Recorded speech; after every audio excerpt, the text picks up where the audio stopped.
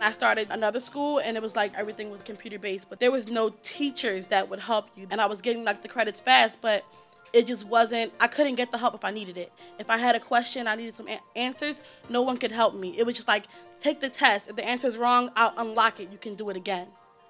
And that was not it for me because I wasn't learning. I had a lot of trouble in public schools. Um, I got into a lot of trouble, a lot of friends, and just having too much fun, I guess you would say. And I didn't have too much expectation of going to college. Across the nation, millions of young people have either dropped out of school or are not making progress towards graduation. It's this fine line and balance between accountability and support.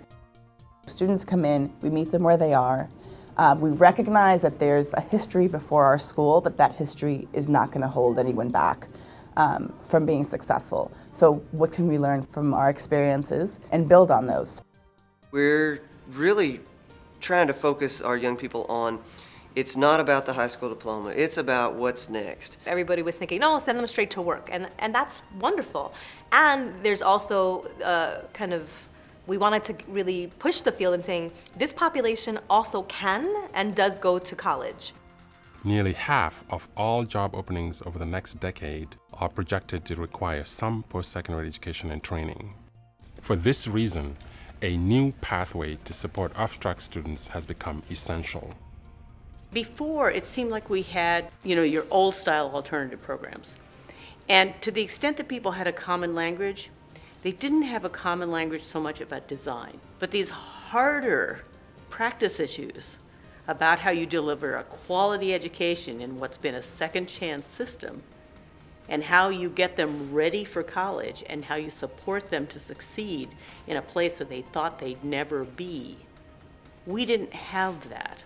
And so we've created a really well designed model that the networks have been putting in place, but also our other key scale partners like cities and districts and states and community colleges. This model, which can be used in designing or enhancing both diploma granting and GED programs, articulates three program phases that help young people achieve their post-secondary ambitions. Enriched preparation integrates high-quality college instruction with strong academic and social supports. Post-secondary bridging builds college-ready skills and provides informed transition counseling. And first-year support offers appropriate resources in the first year to ensure post-secondary persistence and success.